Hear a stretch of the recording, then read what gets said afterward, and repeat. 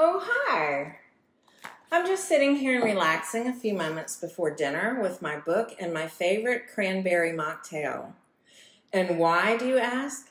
Well, because I found out about the latest TikTok trend, the coastal grandmother. So, what is a coastal grandmother? Well, the coastal grandmother aesthetic is exemplified by all those Nancy Meyers movies with their comfortable and beautiful interiors and it's doing things like eating simple, healthy meals that are still lovely to look at. It's taking time each day to relax with a book and to just enjoy the calm around you. And most of all, it's being a confident woman who dresses in classic, simple clothes. The coastal grandmother icon is Diane Keaton in the movie Something's Gotta Give. So apparently, I've been a coastal grandmother my whole life because I've always liked simple, classic clothes. But the more I learn about the coastal grandmother lifestyle, the more I love it. And I especially like the coastal grandmother wardrobe because all the pieces work so well together. As it turns out, I'm going to be doing a lot of traveling this summer with my husband. And so I've made myself a coastal grandmother capsule wardrobe that's going to work together beautifully on the road because I can make so many outfits out of just a few pieces. So if you want to make your own Coastal Grandmother classic wardrobe, here are the essential pieces that you'll need.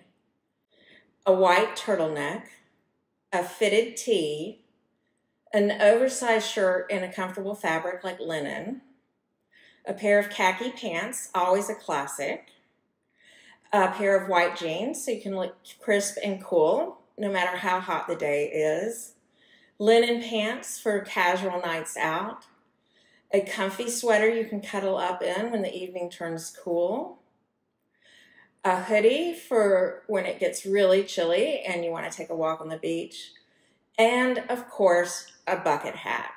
Every coastal grandmother needs to protect her skin, so you gotta have a bucket hat. So, like I said, the beauty of all these pieces is they work so great together. Let me give you a few examples of how I've been wearing my coastal grandmother looks this summer. Let's start with the classic white turtleneck paired with khakis.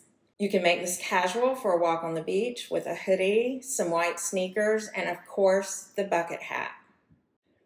Or you can dress it up by pairing it with a long cardigan and ivory loafers. Switch out the khakis for the white jeans and you've got a completely different look. I also added a pair of cute sandals to elevate it just a little bit. Or you can pair the white jeans with the fitted tee and an oversized shirt. If you're ready for another walk on the beach, swap out the white jeans for a pair of blue jeans and add sneakers and your bucket hat. Meeting friends for drinks? Take the linen pants, the fitted tee, and the sweater for a comfy, relaxed outfit. Or keep your cool while doing some shopping with the oversized shirt and the khakis.